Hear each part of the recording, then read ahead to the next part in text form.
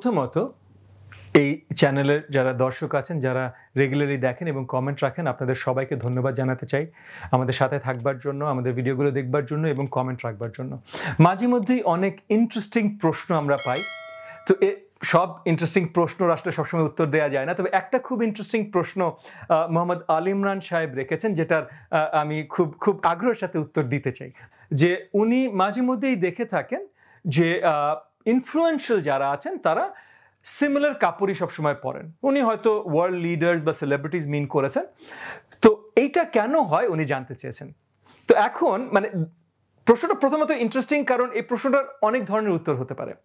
একটা হলো, উনি যদি ওয়ার্ল্ড লিডার্সদের মিন করে থাকেন, তাহলে বেশিরভাগ ওয়ার্ল্ড লিডার্সরা যখন ওয়ার্ল্ড লিডার্সরা একত্রিত হন। সো যেই ফোরামগুলোতে বিশ্বের আপনার সব প্রধানমন্ত্রী প্রেসিডেন্টদেরকে আপনারা দেখে থাকেন, সেখানে তারা ওয়েস্টার্ন ফর্মাল অ্যাটায়ারে যেয়ে থাকেন।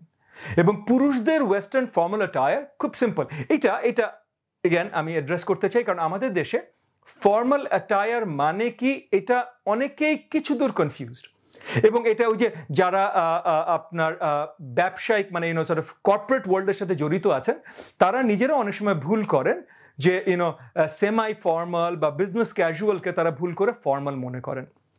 ফর্মাল অ্যাটায়ার খুব স্ট্রিক্ট ডেফিনেশন হলো যে আপনার ওই ইদার আপনার ন্যাশনাল অ্যাটায়ার মানে আপনার মানে ইউনো যেমন শ্রীলঙ্কায় আছে তাদের ন্যাশনাল অ্যাটায়ার হলো তাদের এক ধরনের ধুতি এবং তাদের ফতুয়া টাইপের হাফাতা একটা শার্ট সো এইটা হলো তাদের ন্যাশনাল অ্যাটায়ার সো শ্রীলঙ্কায় এই জিনিসটা ফর্মাল অ্যাটায়ার তার সাথে আমরা ওভারঅল ইউজুয়ালি ওয়েস্টার্ন ওয়ার্ল্ডের ফর্মাল অ্যাটায়ারকে পুরুষদের জন্য পুরো ফর্মাল অ্যাটায়ার ধরি।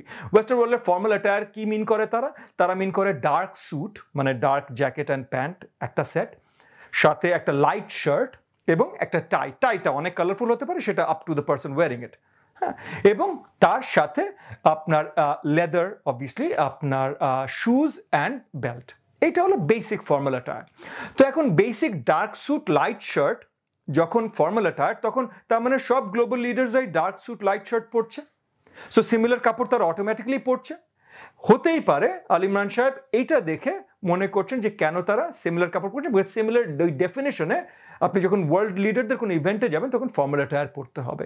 বা আপনি যখন এই যে আপনার ইসেও দেখবেন, হয়তো ওই যে একাডেমি অ্যাওয়ার্ড যে অস্কার অ্যাওয়ার্ড হয় না আপনার আমেরিকায় বা বাফটা অ্যাওয়ার্ড হয় ব্রিটেনে এই অ্যাওয়ার্ডগুলো ফর্মাল অ্যাফেয়ার সো এই অ্যাওয়ার্ডগুলোতেও লোকজন এই স্যুট টাই পরে যায়। টাইটা অনেক সময় বো টাই হয় অ্যাজ অপোজ টু আপনার long tie neck tie but এটা ফর্মাল টাই তার জন্য সিমিলার দেখায়।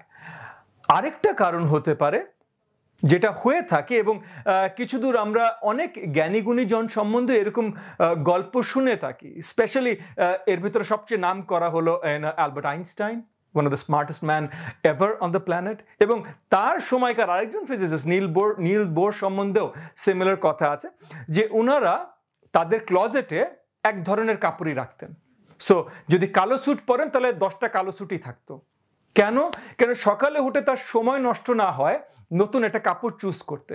আপনি চিন্তা করেন, এখন এই ঘটনাটা আইনস্টাইন সাহেব আসলে এটা করতো কিনা বা নীলস বোর সাহেব আসলে এটা করতো কিনা, সেটা ইম্পর্টেন্ট না।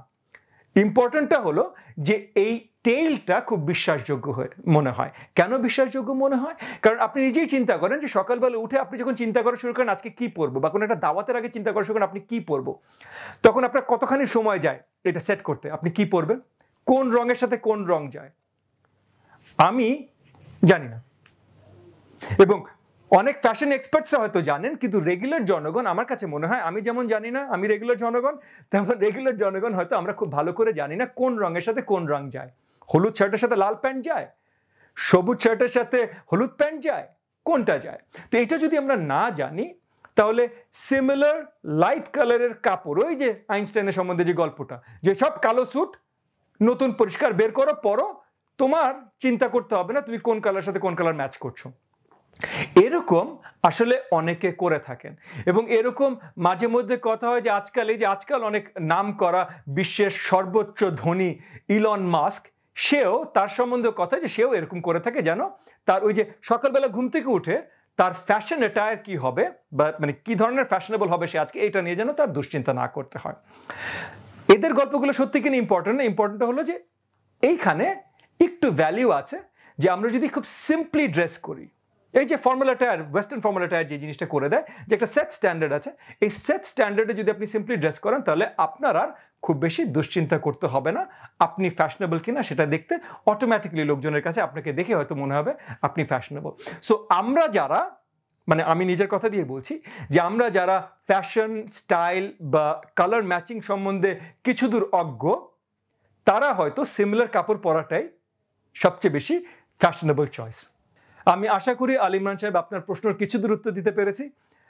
এরকম ইন্টারেস্টিং প্রশ্ন নিশ্চয়ই আরও বেশি বেশি করে রাখবেন এবং আমরা এটার উত্তর দিতে চেষ্টা করব। তাছাড়া যে কোনো ধরনের প্রশ্ন এগেন আপনারা এখানে রাখবেন। আমরা চেষ্টা করব যত শীঘ্রই সম্ভব সেগুলোর উত্তর আপনাদের সামনে নিয়ে আসতে। আমাদের সাথেই থাকবেন। ধন্যবাদ।